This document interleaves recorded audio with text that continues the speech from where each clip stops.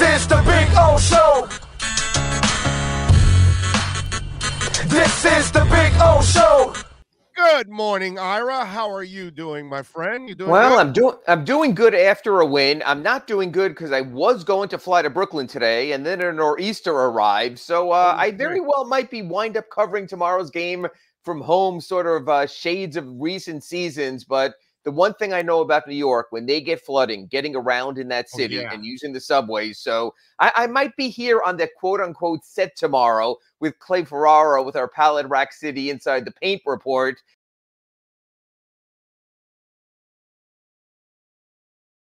Um, but plenty of juicy bits to talk about. One, obviously going to Brooklyn and just facing the Nets and everything that's going on with them, from Kyrie being out to James Harden not able to get to the foul line and maybe put on a couple of pounds there also. So interesting net stories and interesting Heat stories, including oh, and again, it- it's funny.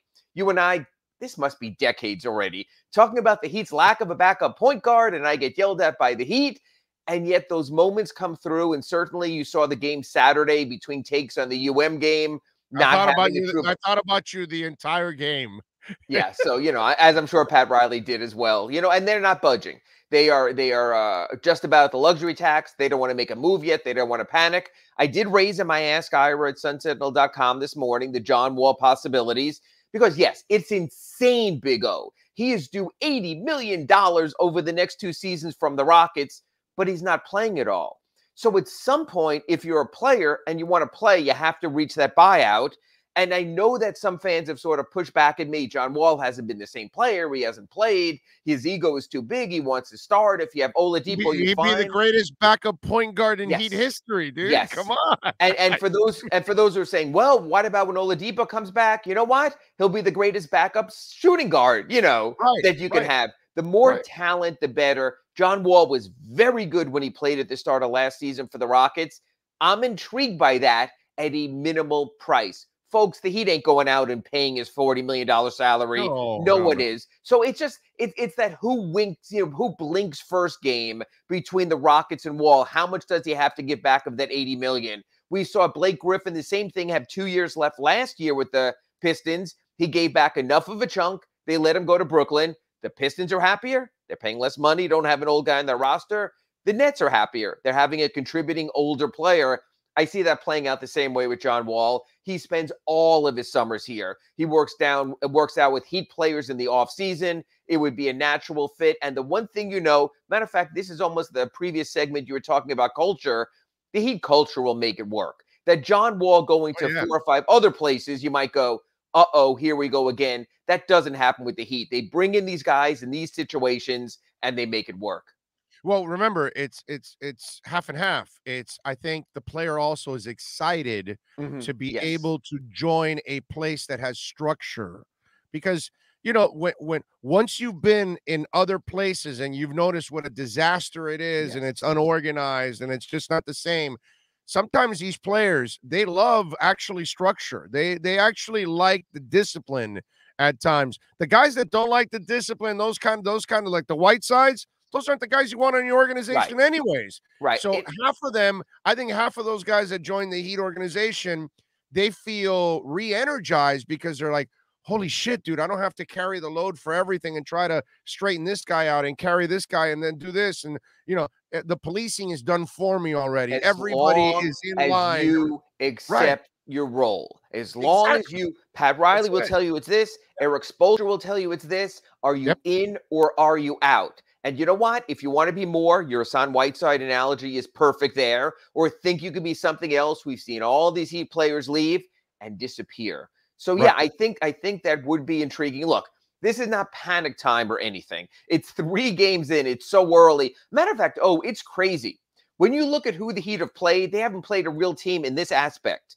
They played the Bucks in the opener with no Brook Lopez, no Right. Jrue Holiday, no Bobby Portis. They go to Indiana, no TJ Warren, no Caris LeVert. They come home last night, no Jonathan Isaac, no Michael Carter Williams, no Markelle Fultz for the Magic. And of course, they're going up to Brooklyn, no Kyrie Irving. Now, I know the Heat didn't have Kyle Lowry one game also, but just get the wins now. You'll figure out who you are and who they are later. Just get the W's. And like I told you this last week when we did our last Acura Pembroke Pines report, You cannot lose to the Magic. You cannot lose to the Pistons. You cannot lose to the Cavaliers because everyone else in the East is good. Washington is good. Chicago is good. Charlotte is good. You're going to have 12 teams competing for playoff spots. You've got to do what you did last night. Thankfully, no Evan Fournier and Nikola Vucevic to get in the way and screw things up, like always. But you got to get the ones you can get. And you know what? Tomorrow in Brooklyn is gettable also. The Nets have been very uneven to start the season. Yeah, and by the way, just to go back to have a little fun with uh, this the the John Wall scenario, just to throw sure. it out to Heat fans, uh, they can both be point guards, also backup point guards, because Spo will be able to play with it down the stretch. If I need more of a defensive point guard at that moment, I use right. Oladipo. If I need more of an offensive point guard at that moment, I use John Wall. You know what I'm saying? So in a way, it also, you know, I know I'm playing fantasy sports right now. Sure. one, we need Oladipo to get healthy and and stay healthy, and two, right. we actually need this whole wall situation to happen. But if it does, it gives Spo a lot of flexibility too that he probably doesn't have with either guy. You know what I'm saying? Yeah, and oh, I'm going to give you one, I'm going to give you one other aspect of this. Come the buyout deadline, which is around March 1st, you have to be mm-hmm. waived by your previous team. You better be in a good position so someone wants to go there. And the example, Big O, I would offer to you is last season. Blake oh, I Griffin. Thought Deshaun, I thought it was Deshaun Watson. Oh, it's similar. After, I mean, all, this, after all this, he may not even want to come to the no, Dolphins he may go, anymore. You know what? Carolina might still make the playoffs. I'd rather go over there. Just yeah. like last year at the buyout deadline, Blake Griffin and LaMarcus Aldridge said, hmm, a Heat team that might go out in the first round or a Nets team that can contend for a title. So you have to position yourself early to make yourself attractive, sort of the opposite of where the Dolphins are now. Yeah. Yeah, that's that's that's rough, man. Uh tonight, I mean last night, uh let me ask you something. Sure. Duncan Robinson, first 3 games, field goal percentage 36%, uh three-point percentage 32%, free throws 66%. I know it's only three games, but he's not shooting very well. No, and you know what? He started off poorly last season. Remember, we were all panicked. He's under 42%. He had that great 46, 48% year That's the right, year he before. Did. He'll come around. He does, you know, like Duncan Robinson told me one thing. He says, Look, I shoot three of 10 on threes and I've had a terrible night. I shoot five of 10 on threes. I've had a great night. Early in the season, the sample size is so small that if he goes out, oh, and has a six of eight tomorrow in Brooklyn, everything changed. The shooting percentage changes, the three point percentage changes. It's still early. And here's the other part of that gravity. Opponents still know where Duncan Robinson is every single minute of the game. They're not playing off of him. That's letting Jimmy play much more in the post, and it's letting like you you wanted and you're seeing Bam Adebayo play much more in the post. So the fact that Duncan Robinson, honestly, two guys, that Duncan Robinson is out there with his gravity. And honestly, one of your favorites, Max Strus, is out there. And he now also has gravity. After people have seen him in the preseason and what he's done now, they're staying with him also. That's what spacing is about. Spacing is not about made shots, it's about a reputation. It's about don't leave PJ Tucker open in the corner. He's been doing this for over a decade. That's what the Heat have now is they have people you're respecting what they don't have necessarily with the Markieff Morris is that. So what does Spo do? He brings them into the mid range. He says, look, let's not keep chucking them up there. No one's guarding it out there. But in the mid range, you're a factor. And he was really good in that role yesterday against the Magic. Uh, I I thought you know I really like what I've seen from Tyler overall. A nice complete game last night.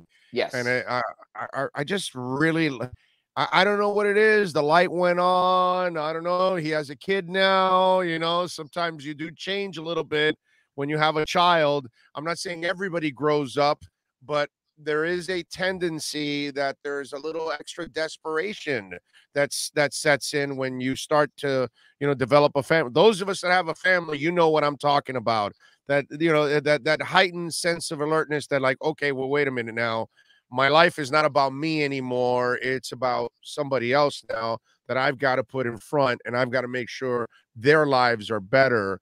I don't know what it is. I don't know if he's, you know, come clean with you guys on it, but I, I just, it, it, just seems like it, it, it seems like it's a more mature player out there right now. Oh, I'm going to go another direction. I think it's having time off between seasons. And I'll give you an example you can relate to.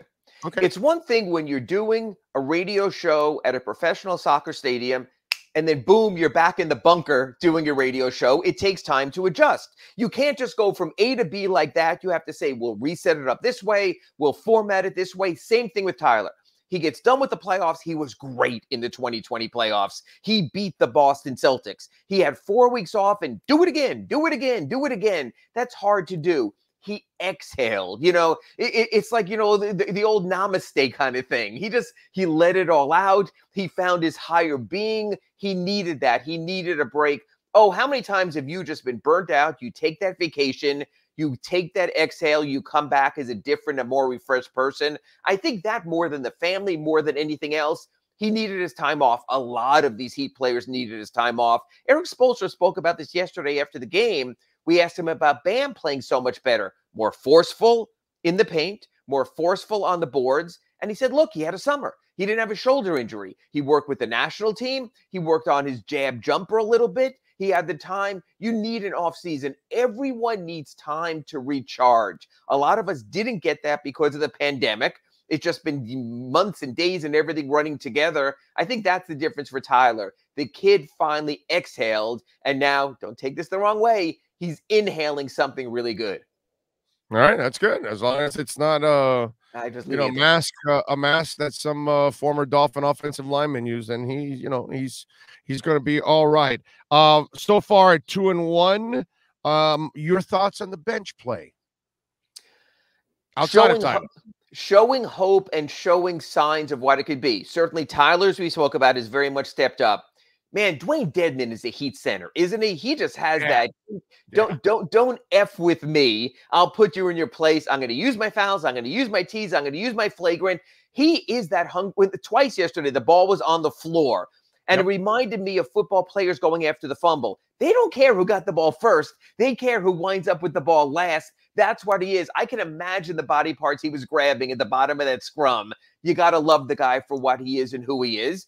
And last night to me was so heartening, Big O, about Markieff Morris that he came out, he hit his first five shots. He was a factor. He has to be a factor. The big three of the bench is Dedmon, Herro, and Morris. If you get something out of them, your quality eight deep. Max Strus again had some of his moments. You yeah. like that also as we wait for Victor Oladipo. This bench can be good without Victor. This bench potentially can be great with Victor. So you're buying time to a degree but I've seen enough from each of those three reserves, of which I had questions about all of them going into camp and going into the season. So, so far, so good. Yet, all of that said, think about how the equation changes when Kyle Lowry's not in there. That Gabe Vincent doesn't play last night, all of a sudden is starting in the game in Indy. So again, they have good backup on the wing. Tyler Herro can be a shooting guard, even a small forward. He can play bigger. They have good backup in the power swing rotation because Markieff could be a three, Markieff could be a four. They have good backup at center because you have Dewayne Dedmon. But at point guard, it just all goes sideways. It goes back to what we started this segment with that there's not an easy transition. Look, I'm not saying I want the Heat to say Jimmy Butler's out, but I can deal with Tyler Herro score starting. I don't want to hear that PJ Tucker is out, but I'll deal with Markieff Morris starting. I know it's a different approach when Bam Adebayo is out, but Dewayne Dedmon's been an NBA starting center during his career. But when Kyle Lowry's out, and he will be again, oh, he's 35 years old. Yeah.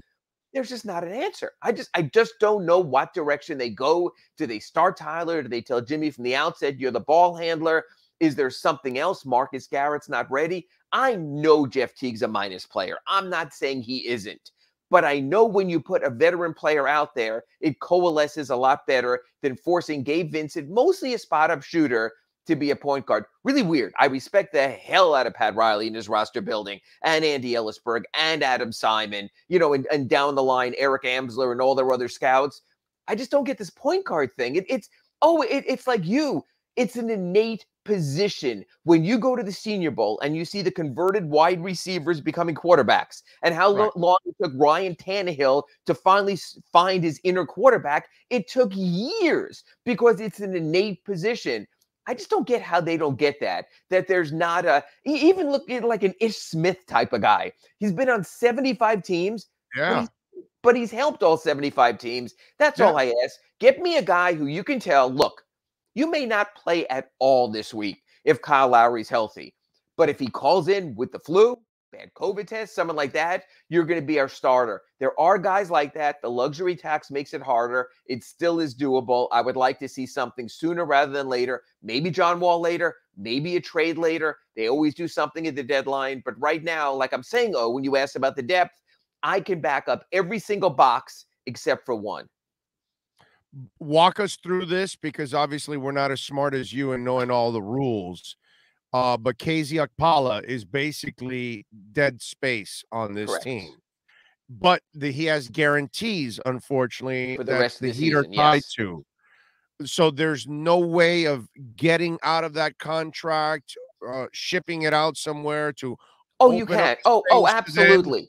And then going- try to filter like you know Yes. remember two years ago when the dolphins were picking on everybody's practice squads Sure. well the heat should use that spot to try to keep finding a damn point guard somewhere No, a- a- and I agree with that, but there's a cost. And the cost so far shown in similar salary dumps has been cash and a future second round pick.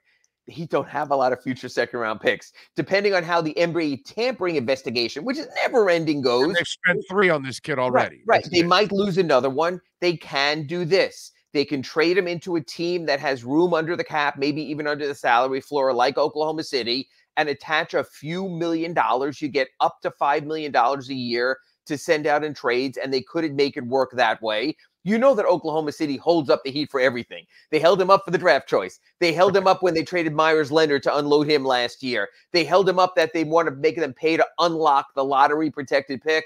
But Oklahoma City right now is below the salary floor. So basically, if they don't pay a player, they have to just give the money to the rest of their roster. So I do think that is doable and that he can talk their way into it. But right now, Sam Presti's playing hardball because his team's not looking to win. So it doesn't matter to Yeah. him. But that, that is to me the best avenue right there. Unless, and then please, please, I'm not saying this, you convince UD to walk away and you tell him, you know what, UD?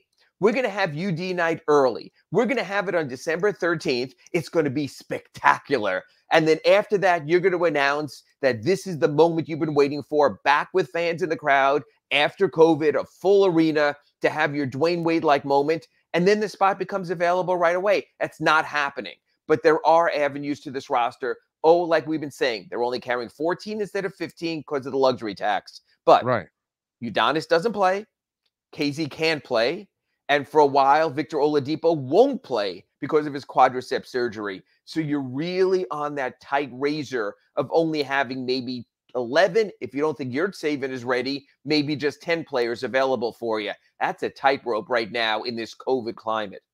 yeah i, I like your saving I, i'd find minutes for him Yes, one I, way or I, I would not let him go. You not know the what? first It- half to, to get him in- ready for the second half just in in, retro- case somebody gets injured in retrospect, if they could have signed him to the two way contract, then they would have had this Oh. roster spot. But let's Right. face it, though. Matter of fact, you know, I'll have you be a GM.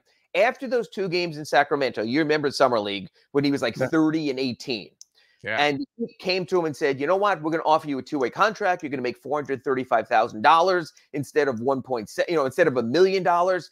But another team offered a standard deal. The Heat were rock in a hard place. It's almost like Right. he was almost too good for their good. Then they Right. couldn't hide him anymore. The perfect world would have been Yurtseven gets a second two way, not Marcus Garrett. He goes to Sioux Falls. And then you have an extra roster spot. Maybe it's for Jeff Teague. Maybe it's for Wesley Matthews. Maybe it's for James Ennis, but you can get another contributor. But you know what? Sometimes your hand is forced also. And you know what? If Yurtseven becomes the player that you and I think he might be, then you don't want to have that guy walk and all of a sudden No. he, he No. becomes another team's Patrick Beverley. Yeah, no, definitely not. You, you definitely don't want uh, something like that happening. All right, Ira, what are you working on on the South Florida Sun Sentinel so uh, our listeners can check you out, my friend? Uh, just posted a story about the crazy situation, how the Heat are flying into a storm because of the weather, but they're also flying into a storm in Brooklyn because of the Kyrie Irving thing, cannot play in New York by their mandates. And the James Harden thing, this new crackdown on players trying to draw fouls to get to the foul line, which is the story of James Harden's career. He was, I think, sixth last season in free throws attempted per game. He'll go into the Heat game 63rd in the league in free throws attempted per game. They're not buying his BS anymore. Again, and I watched this on NBA TV, Sam Mitchell was talking about it. If he drives to try to score and gets fouled, they'll call it. But if he's playing just to draw the foul, They're not calling it anymore. And they shouldn't call it anymore because that's not part of the sport. You're a huge soccer fan, Big O. You know how there's been a crackdown in the Premier League. If you're going to Yes. flop just to get a yellow card or maybe a PK, they're not calling it, and they're going to give you the yellow card Right, now. right. Unlike some I South love it. American leagues where flopping and Messi is still the thing. So the NBA is cracking down. So basically, what they're telling James Harden is play basketball. If you play basketball, you'll get the whistle. And the contrast to that, Big O, is Jimmy Butler right now is sixth in the NBA in free throws per game because he draws contact, because he goes through you and tries to score, because he doesn't flail 17 different limbs No, in one. no. no Yeah, he so I- seeks the contact. Yes, yes. He, he- like like Eric Spoelstra had a great line in Indy the other day. He says every time Jimmy gets contact, it's like a mini car crash, and it sort of is like Dwyane Wade. You know, the fall 19 times, get up 20 kind of thing. So I sort of contrasted how Brooklyn has to deal with the absence of a star and a star no longer getting his way. So I think it'll be an interesting game tomorrow night for the Heat in Brooklyn. I'll be talking with Clay Ferraro in our Pallet Rack City inside the paint show tomorrow about that. So that's posted at sunsentinel.com. Gonna have a story later in the day about how the Heat's reserves are coming through. But uh interesting times. Again, three and one would feel a hell of a lot better than two and two. So Oh, yeah, man. sort of a big game. Yeah. Yeah, and by the way, you know it always feels good because when you're going to Brooklyn and you're going to that arena, you've been to juniors, right? Yes. Oh, of course. Yeah. The what the, the now I don't know if you know this, but the juniors that's right by that arena is the only juniors that has cornbread, and that cornbread is the best cornbread on the planet. All right, I don't know if have you do you like cornbread? I do like cornbread. Uh, usually, when I go to juniors, I stay more on the Jewish kosher side of the menu. But if I- you're gonna I get- add a little southern tilt, I can I can get into that. yeah. I, I get that. I totally understand. Okay, there's lots of great things on the juniors menu, but if you ever get to go again, try the cornbread. Okay, Hey, I'm I'm all cornbread. the Every time I go to a concert in there, I Mhm. always go to juniors to go have some food, and I gotta have a cornbread. Oh It is a Winderman Thanksgiving staple. I will keep that in mind. Thank you, Big O. All right, be good. Thank you, Ira. Appreciate you. Follow him on Twitter, by the way, at Ira Heatbeat. For those of you that are listening on the podcast, more importantly, subscribe to the Sun Sentinel and support my man Ira and all the great journalists that are there on that newspaper. That is our Acura of Pembroke Pines, Miami Heat, and NBA report.